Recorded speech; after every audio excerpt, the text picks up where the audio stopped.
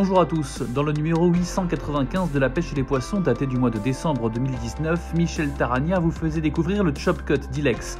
Voici le bonus vidéo pour bien se rendre compte des avantages de ce leurre. Le Chop Cut Dilex est un leurre de surface à hélice qui permet différents types d'animation de la plus provocante et bruyante à la plus insistante.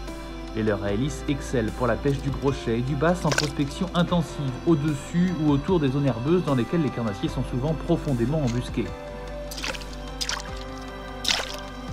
Le chop cut se distingue par une hélice unique placée en tête mais surdimensionnée par une décoration très soignée et par un triple ventral monté sur émerillon rolling. Il est de plus équipé d'un avançon rigide en acier inox destiné à éviter que le fil ne se prenne dans l'hélice.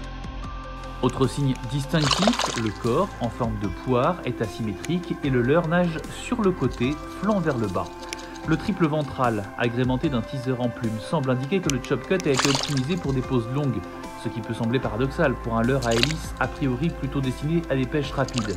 Mais cette double casquette s'avère bien utile quand le poisson n'est pas franchement agressif et qu'on décide d'insister sur un spot ou lorsqu'il manque son attaque, ce qui est fréquent avec le brochet en surface.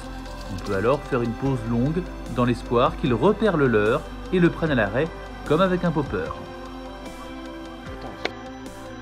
En utilisation classique, c'est-à-dire en lancer ramené plus ou moins rapide, l'hélice du chop cut brasse un maximum d'eau, le boucan est spectaculaire et le tirage assez important.